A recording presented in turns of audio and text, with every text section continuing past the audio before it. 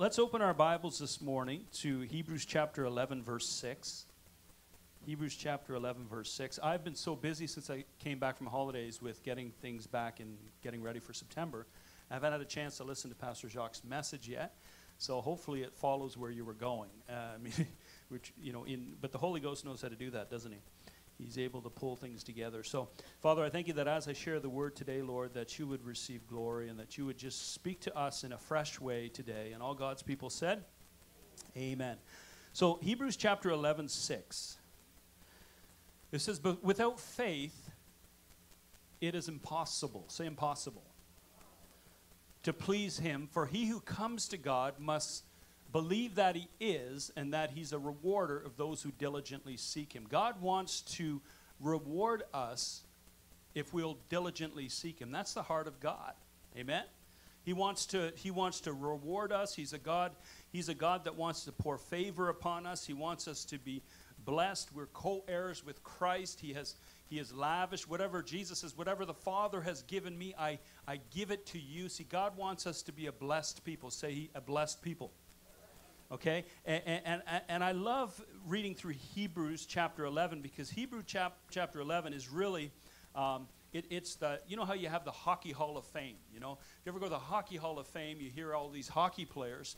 It doesn't talk about everything the hockey players did throughout their whole career but what it does is highlights the, the things that made them famous. Amen? And hebrews chapter 11 is like that. That's that's the uh, the, the, the faith the, the, it's the hall of faith and, and so it really points out the things that made that, the, the, the great accomplishment of men and women in the walk of faith. And so when I read through this here, um, I begin to see all these highlights. And the Bible says that starting in, I think it's verse, starting in the, I think it's verse 3 here, it says, By faith we understand that the worlds were framed by the word of God, so that all things were, that are seen were not made of things which are visible. So God starts out talking about his faith. I think that's pretty awesome, right? That, that, that God was able to create a world out of things that are not seen. It's, he took things that were invisible and he created what is visible. And we, we, we realize in the 1600s, 1700s, there was a, a Dutch draper by the name of Vanton, and he was uh, the pioneer of the microscope. And in the late 17th century, they began to see all these, these little things they could never see before, and they're saying, wow, things are made of things unseen. And the Word of God came to pass, was revealed. Amen? And I think that's pretty awesome. God, that's a pretty good accomplishment. And then we read about Abel's faith and Enoch. Oh, Enoch was the first guy who was, was transported, he, he was teleported to heaven. I think that's pretty cool. That's, that's pretty awesome faith. You know, yeah, you know, uh, what did you do uh, on the earth? Well, let me tell you, I believe God so much that God just transported me. And everyone's like, yay, that's pretty awesome, right? Hurrah. And, and, I think that's pretty awesome. And, and then Abraham moved from home. He moved away from home without a destination. He said, well, God's speaking to me, and he just went. And so we look at these things and we say, these guys were men of faith. And, and, and it is, it's very impressive. And then Sarah gave birth to her first child at the age of 90. She just said, you know what, I'm just going to believe God because he said it, and then she had a baby. I mean, that's impressive faith. Wouldn't you say so? Moses led a nation out of Egypt. Moses split the sea. Joshua believed God, and the walls of Jericho came tumbling down. These are awesome accomplishments of faith. Would you agree? But as we're reading through, right dead center in the middle of the chapter, in verse 20, I want to read that. I want to focus on that this morning. Hebrews chapter 11, verse 20. By faith, Isaac blessed Jacob and Esau concerning things to come. So, Jacob and Esau were the sons of Isaac, and it says, By faith, Isaac laid his hands and blessed them concerning things to come. When I read that, and I thought, wow. Isaac did more awesome things than that. Why? Why? See, the things that are important to God might not be important to us. The things that are important to us might not be that important to God, but to God, God looked at that and said that was the greatest accomplishment that Isaac did because he was able to lay his hands on his two kids and he was able to bless them concerning the things that were coming after he died. Let's read the next verse. So this is Isaac. Isaac lays his hands on Jacob and Esau, and he prophesies the word of the Lord. This is going to happen in your generation. God is going to bless you. The kingdom of God is going to advance through you. I'm going to heaven, basically, but you're going to continue what God started. The next verse says this, verse 21. Now, Jacob, by faith, when he was dying, he blessed each of his sons, the sons of Joseph, and he worshiped leaning on the top of his staff. Wow. He's laying, hands, he's laying hands on his two sons, his grandsons, and blessing them and speaking the word of the Lord moving forward. And that's pretty, pretty amazing. Now, I want you to understand the reason why this ended up in the hall of faith is because to God, uh, the kingdom is generational. There's a generational blessing. And when God looks from heaven, when heaven looks from the balconies of heaven, they look and they see a generational kingdom that's growing and being passed on from generation to generation to generation to generation. And if you're not careful, the enemy wants you to get so focused on yourself and what you can get from God that you're not pouring into the next generation. And what happens is the kingdom stops in your generation. There's no residual income. You see, you say, but I want to see the blessings of God in my lifetime. You will because you have eternal life. And there's something about standing from the balcony of heaven and saying, okay, look, I poured into this next generation. Look at them go. Look, I, I imparted. The kingdom is advancing. God's bigger picture will be accomplished. But if we get focused on what can I get out of God? What can I get out of what can I get out of the kingdom of God? And our focus isn't about advancing the next generation residual income gets cut off. Back in the 50s, you know, there was guys that started these burger joints, and uh, they made some money and they were famous, and I could, I could name a few of them. But they don't exist today. But a man by the name of Ray Kroc, who bought a, a restaurant franchise off of the McDonald brothers, uh, he took that industry, and how we know he's dead now? But he's making more money today than he did when he died or when he bought the restaurant. Why? Because he created a residual, it was a kingdom of residual income that was, in, it's the same way in the spirit.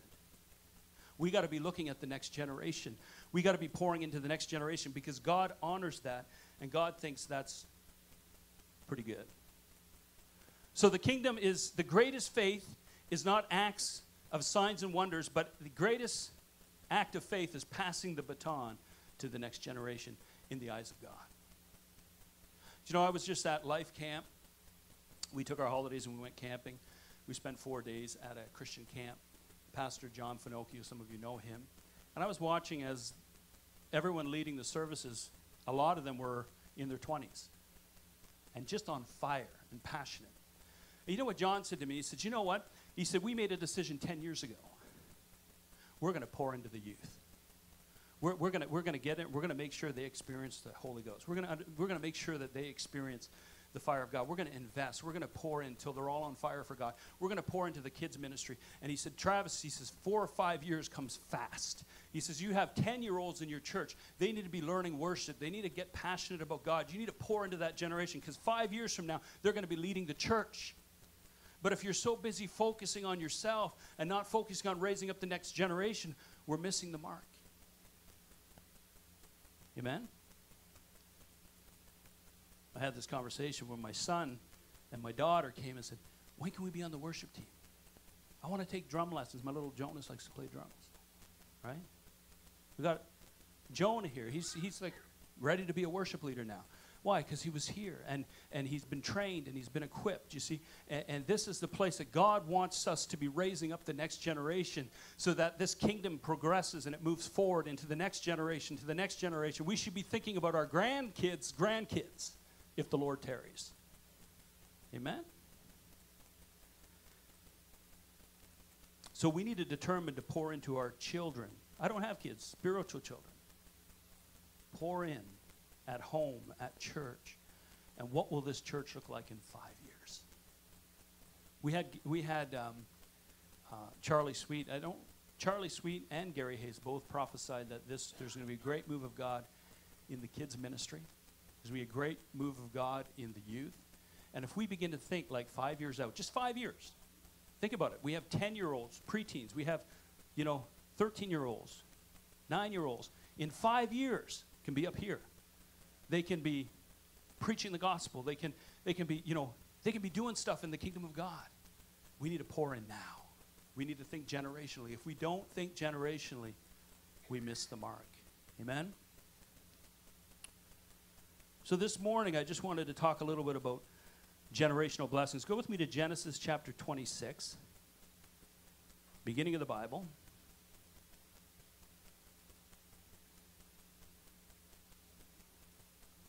We're going to start in verse 1. How many are there? You can all say yes because we have it up. It says, um, There was a famine in the land beside the first famine that was in the days of Abraham. All right? And Isaac went to Abimelech, king of the Philistines in Gerar. And the Lord appeared to him and said, Do not go down to Egypt. Live in the land which I shall tell you. Okay? Dwell in this land, and I will be with you. This is verse 3. And bless you. For you and your descendants I will give all the lands, and I will perform the oath. Say the oath. Not, it's the oath. This is the big one, okay? I will perform the oath which I swore to Abraham your father. And it tells us about this in verse 4. He says to Isaac, And I will make your descendants multiply as the stars of the heaven. I will give your descendants all the land, and your seed, all the nations of the earth shall be blessed in your seed. See, we don't think today about our seed, we think about us. Amen? And you know what? We, it's all like, we hear these prophecies about revival coming to Trenton, right? How many have heard that? You know, the tsunami wave. Well, you know what? I really hope it comes in my generation, but it might not. Maybe my kids will experience that. But I'm part of the process of preparation for God's move. And if I if I miss that mark, if I don't do what I have to do in order to pour into the next generation, revival might not come. And so there's a generational thing going on, and we see that God put a generational blessing on Abraham, was going to go to Isaac, which was going to go to Jacob, it was going to pass down to today. And here's the blessing I will make your descendants multiply as the stars of the heavens. I will give your descendants all the land, and your seed in the nations of the earth shall be blessed. Why? Verse 5 Because Abraham obeyed my voice and kept my charge, my commandments, and my laws. I want to say this that if you're obedient to God, if you obey the command of the Lord, guess what? You're going to be blessed right? And so the blessing came because of Abraham's obedience. All right? So there's a generational blessing. Say generational blessing. We just read about it. So Isaac has a generational blessing. Can you say that with me? Isaac has a generational blessing. But as we read on, it's just kind of this thing.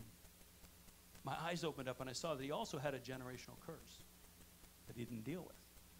I want to read that to you here. We're going to start in verse 6. So Isaac dwelt in Gerar, and the men of that place asked about his wife. And he said, She's my sister. You know, you, you, you know, Isaac's no Braveheart. You know, he's not like, this is my woman. He's, oh no, she's my sister. And I'm sitting there going, here's a man who's blessed by God, and he's, he's, he's, uh, he's submitting to a spirit of fear and therefore now there's a lying spirit coming out of him. You see this here. We'll read it together. The man of the place asked about his wife. This is verse 7. And he said, She's my sister. For he was afraid to say, She is my wife, because he thought, Lest the men of this place kill me for Rebekah, because she's so beautiful to behold. Verse 8. Now it came to pass when he had been there a long time that Abimelech, king of the Philistines, looked through a window and he saw and there was Isaac cuddling with his wife. And he said, Ho, ho, ho, ho, hold on a second. I thought she was your sister. You're a little close for that. And look what he says in the next verse here. Then Abimelech called Isaac and said, Quite obviously, she's, she's your wife, man. You know, like, how can you say she's your sister? And Isaac said to him, Because, uh, because I don't want to die on her account of her. I don't want to die because of her. So he wasn't a braveheart. He, I mean, he had some issues. He had a spirit of fear, which caused him to lie. So I want to say that because you can have the blessing of God, and you do. We have the blessing of God. But how many know we got our stuff? All right, and, and this was something that Abraham never dealt with, and so it passed on to it passed on to his son. And if you don't believe me, we'll, we'll look at that in just a few minutes. So, what happened in verse 11? So, Abimelech charged all the people, saying, He who touches this man or his wife shall surely be put to death. Okay? In other words, Abimelech saw, hey, the blessing of God is on this man, the, the favor of God. This is a man of God. But in his, he, so everyone saw that this guy was blessed, but he still had a spirit of fear. And if we go back to, um, let me just put my page here. Let's go back to Genesis uh, chapter 12. Is it okay we do a bit of Bible study here? Genesis chapter 12.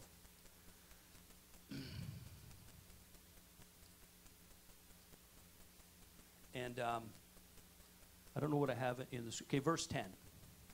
This is Abraham. Now we're going years, we're going back in the we're going back in the past now. We're going back to, to Abraham, okay? This is the father of Isaac, okay? Now there was a famine in the land. And you see what here's the thing. I want you to get this. The weakness in Isaac came to the service when there was a famine in the land.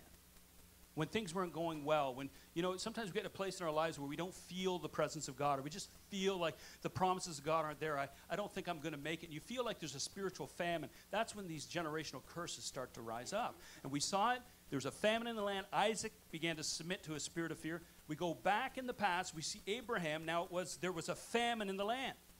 And Abraham went down to Egypt to dwell there, for the famine was severe in the land. Verse 11 And it came to pass when he was close to entering Egypt that he said to Sarai, his wife, Indeed, I know that you are a woman of beautiful countenance.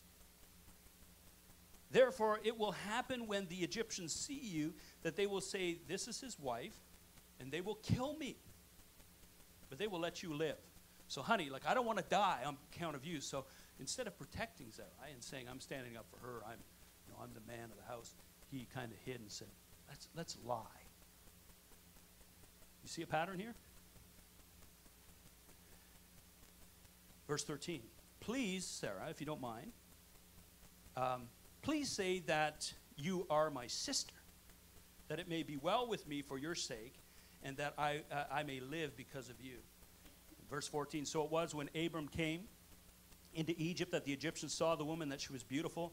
The princes of the Pharaoh also saw and commended her to Pharaoh. She was not she was drop dead gorgeous apparently. They were, everyone saw her walk by and said, you know, and, and he, he treated Abraham well for her sake. And he came to Abraham, he said, Can I have your is, it, is this is this your wife? No, she's my sister.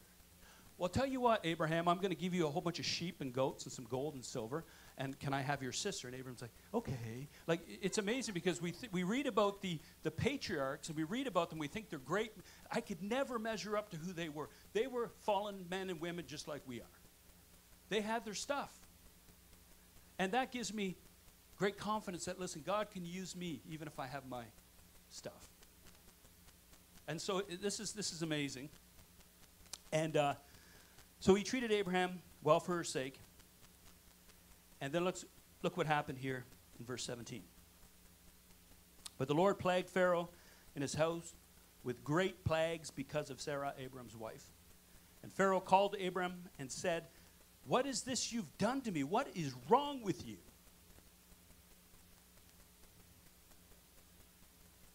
Why didn't you tell me that she was your wife? Why did you say she's my sister? I might have taken her as my wife and, and, and uh, then God would have came and judged me and he would have destroyed. Like people saw the favor of God on, the, on these leaders, but they allowed a generational sin of fear and lying. And you know what amazes me is that um, verse 20 says, So Pharaoh commanded his men concerning him, and they sent him away, Abraham with his wife and all that he had. And then Genesis 13, verse 2 says, Abram was very rich with livestock and with silver and gold. See, God blessed Abraham. Abraham was ble- the blessing of God was all over him. And what amazes me is that I can see Abraham sitting with Isaac and say, you know what? There was a day, there was a time when we were camped outside of Egypt and we went into Egypt and I was afraid because I thought that they were going to take your mother away from me, so I pretend she was my sister, and you know, and all this. But you know what? God came through in the very end, and and the, the, the king was afraid, and he blessed us, and he released us. And, and but so I'm sure Isaac heard those stories. I'm assuming he probably heard those stories because Abraham's trying to build faith in the next generation, and then Isaac go and does the same thing in the midst of a famine. And how many of you say, you know what, my mom and dad used to do that, and I'll never do what they do. And then you catch yourself saying something stupid. You're like, I just, I just became my dad or my mom. No offense, mom or dad. So.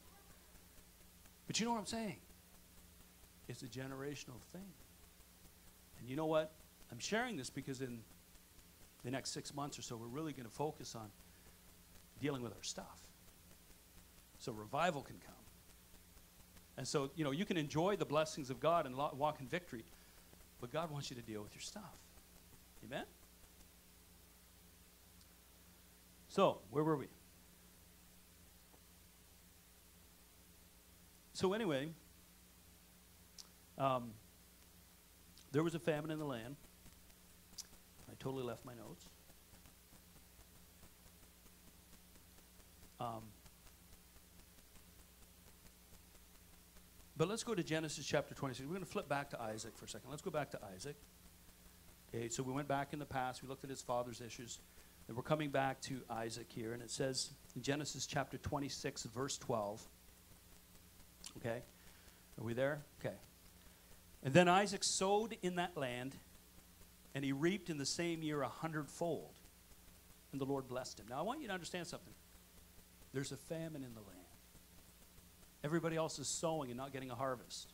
They're putting their seed in the ground, the seed dies. This guy, because of the blessing of his father Abraham, he put seed in the ground and a hundredfold comes out of the ground. Isn't that awesome? Because God will bless you even in the midst of famine, even when everybody else says, you know what, there's nothing going on, God's not moving, the church is dead, there's no revival. You can live in the midst of a revival, that everything you sow, everything you plant, God's going to bring forth harvest. Why? Because you're connected with God. And so here, here he is. He's got the blessing of his father upon him and he's sowing in the land. He's reaping a hundredfold. Verse 13. And I love verse 13. The man began to prosper, continued prospering until he became very prosperous. Here, here, here we got a guy using the word prosper three times in one, one verse. The guy was wealthy, he was rich. There's nothing wrong with having things. You know, I know people, I know guys who are rich, lots of money, dripping with money. They're the biggest givers I know. We'll walk into a church and say, What are the needs? Oh, you need a new roof? Here's 50 grand. Big givers. So it's not, having money is not a bad thing. It's having a heart that's willing to give when the Lord says give. So he's very prosperous. And so what happened was the Philistines envied him. The Philistines represent, if you take types and shadows, they represent the, the enemy of our soul, the devil the world of dark underlords, demonics, demons, you know, that are, and that's a real, that's a real, that's a real place. And uh, the Philistines envied him. You know, the enemy envies you because you're a child of God. You're walking in the blessing of God. The devil once was Lucifer. He was in heaven. He, he was adorned with every precious jewel. He was, he was, a, he was a prince with, with God. He, he was an amazing creature of beauty, and he lost it. He's in a fallen state. But now you and I have that anointing that covers us instead of him. And he's envious of that. The enemy's envious that we're going to walk into our destiny and doesn't want us to do that. All right? And so Abimelech says, Go away from us, for you're more mighty than I. So let's look at verse 15.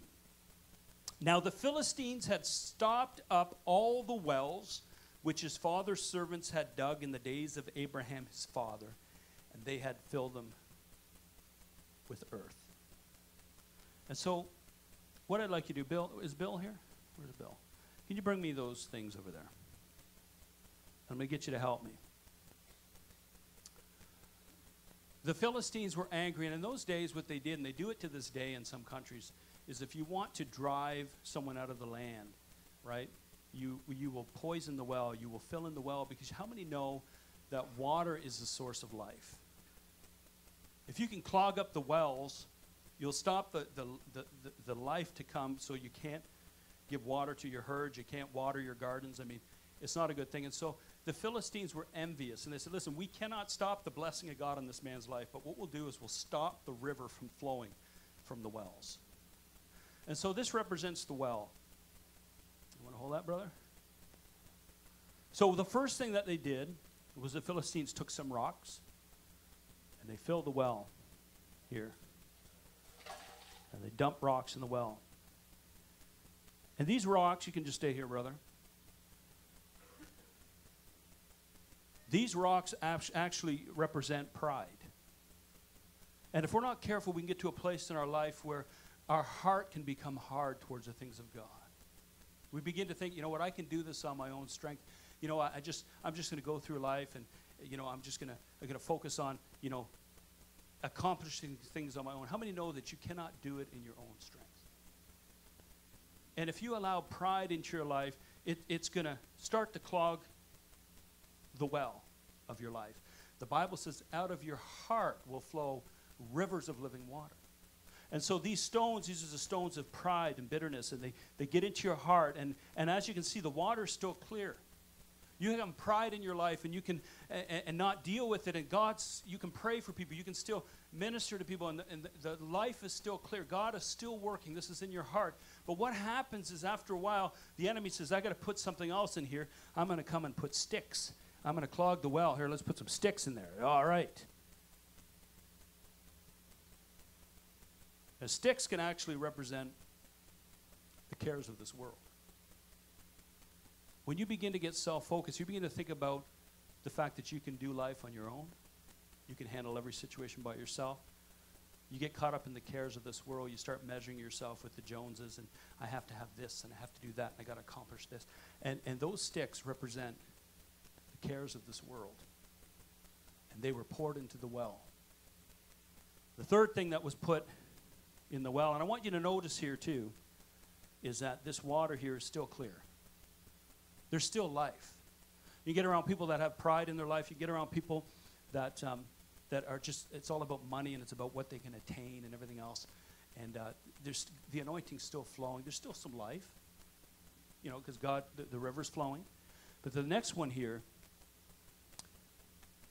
is dirt. And this is poured into the water. Can you stir that around for me, brother? And what will happen with the dirt? The dirt is actually gossip and slander. And if you allow pride in and you allow the cares of this world, and you start measuring yourself by yourself, and you start, well, did you see what so and so did? And this person in the church, and you know, blah, blah. You start talking, and all of a sudden, the waters get defiled.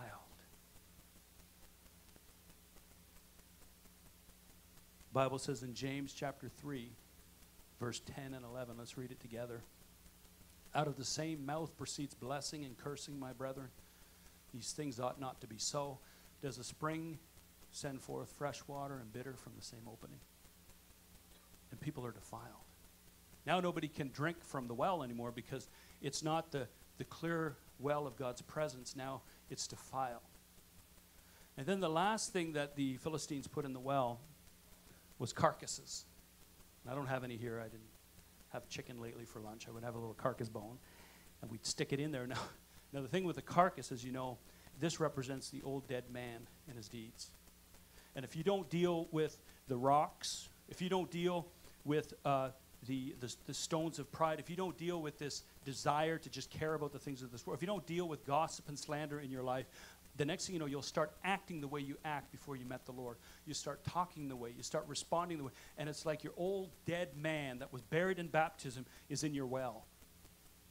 And now, when people, you speak into people's life and you minister to people's lives, guess what happens? They get poisoned and they get full of disease.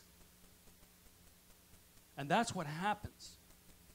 And on a level of revival, on a, on a local church level, God pours out revival, and it's a, there's a well that's been dug and the waters begin to spring, And the enemy says, I can't stop the blessing. So he starts working on people so that they'll get pride in their life and they'll get, you know, bitterness in their life. And, and he begins to clog up the well. And then revival stops. Amen? And the amazing thing, and if you read on in this passage, you'll see that the Bible says that Isaac redug the wells that his father dug. He didn't have to dig the wells, he just had to redig the wells that were filled in. And God is calling us as a church. The Bible says, guard your heart, guard the wells, for out of it flows the issues of your life. Our heart is a well, and we have to guard it. Don't let the enemy put in your heart those things that are going to keep the fresh water of God's life to flow to the next generation. And so he redug the wells that his father dug. We need to be well diggers, right? You know, you can, you can pray, God send revival, God send revival, God send revival. And you can pray, and people have been doing it for years, and revival hasn't come. Because our prayers have not, can't just be God send revival. It has to God, search me, see if there be any evil way in me, Lord. What is it that has to be repented of? What do we need to deal with in order to let the fresh waters flow? Revival has already come, guys. 2,000 years ago, the Spirit of God was poured out on the day of Pentecost, and it's never left. But the wells have been buried. And the reason why I'm sharing this is that, you know, Charlie Sweet came and he preached that there's, he had a prophetic vision of a well of salvation in our parking lot. How many remember that? There's a well. He said, there's a well of discipleship. And so as I was studying this, and I talked to Charlie, I saw him a few days ago, and, and I said, listen, you prophesied about these wells. And I said, we need to redig them because they're here. And we need to get the water flowing in the wells. And I want to say this here, just like Isaac redug a well that his ancestor had dug. I want you guys to know, and some of you know this, that there was a church called the Old Hay Bay Church. It's the oldest surviving Methodist building um, in Canada. It was erected in 1792 by the set settlers that were coming over here, including the United Empire Loyalists, who had recently arrived and established the community of Adolphustown in modern day Greater Napanee. Now, I don't know if you guys know about this. But um, there were saddlebag preachers who would come in and they would preach under the unction of the Holy Ghost, and great revivals happened. This is out by, um, if you go over to where the ferry goes across from Picton, Old Hay Bay Church, Methodist revival. The first, that's where the gospel came to Canada. That's where revival started. Less than an hour from here, the gospel was preached. People were coming from all over the place to get born again and saved in this little church called Old Hay Bay Church. And I'm here to say, listen, God wants us to redig the wells of our ancestors and say, listen, you know, we have to build on the promises of the past. We have to continue what they started. And it, it means we have to look and say, what was it that caused that thing to stop? Let's come before God, repent, and let's redig those wells. Amen? This is why, as we're moving forward in September and October, why we're focusing on things like the encounter weekends, the, the Purple Book discipleship course. We're going to be doing a healing, healing the hearts course, and Pastor Jacques and Sharon are working with different people who, who want to work on their marriages and stuff. Why? Because we want to deal with those things that the enemy has put in our wells so that we can live in abundance. Amen? And let the river flow. Amen? So I want to encourage you guys, each and every one of us here, that we have to personally be willing to say, listen, we're going to guard the well. And when this stuff is in here, we're going to say, God, show me. And if it's there, Lord, we repent of it. We ask that you would cleanse us of these stones, cleanse us of these issues, because if they're not, they're going to end up in your kids and in the grandkids. Cut off those generational curses. Just let the blessings pass on. Amen? And so God is good. Let's stand and we're going to pray. Hopefully that was helped you guys. Amen. Well, Father, I thank you, Lord, for this revelation, God. Lord, that you're going to help us by your Spirit, because this you're speaking to every heart, and this is a prophetic message, God. And you're you're pinpointing different areas in our hearts, and we're all at different places. But it's not by strength and it's not by might, but it's by my Spirit, says the Lord. So, Father, I thank you, Lord, that by the Spirit of God, we're going to be led into the place we have to be in repentance. In Jesus' name, amen.